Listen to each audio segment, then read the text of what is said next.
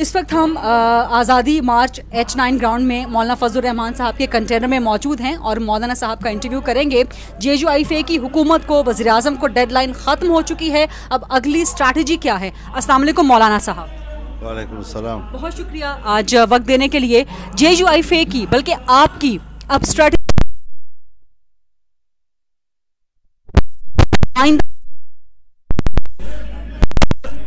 اس حوالے سے چونکہ متحدہ اپوزیشن کی رہبر کمیٹی کی کچھ تجاویز بھی سامنے آئی ہیں اور ایک سربراہی اجلاس اب بلانے کی طرف ہم جا رہے ہیں۔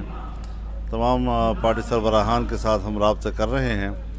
اگر وہ کل میں یا پرسوں میں اکٹھے ہو جاتے ہیں، تو جب تک تمام اکابرین مل کر ایک اسٹریٹجی نہیں بنائیں گے تو اس وقت تک ہم یہاں پر رہیں گے اور پھر جو وہ طے کریں گے تو اس کے مطابق انشاءاللہ ہم اس کو اناؤنس کریں گے۔ اس کا مطلب یہ ہوا کہ وزیراعظم کو مزید مہلت دے دی گئی مولانا صاحب کی طرف سے۔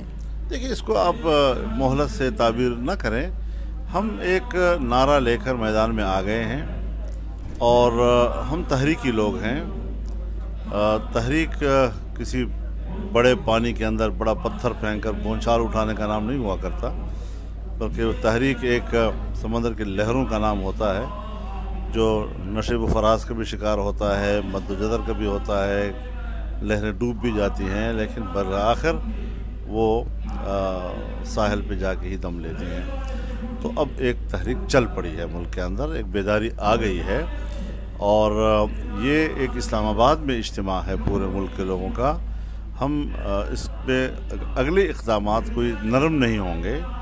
اس کو اسی تحریک کا اور اسی اجتماع کا تسلسل، تصور کیا جائے گا۔ اور جیسے کہ ہمارے محمود خانہ چزیز جی صاحب فرماتے ہیں کہ پورے ملک کو جرسگاہ بنا دیں گے۔ تو یقیناً ہم کوئی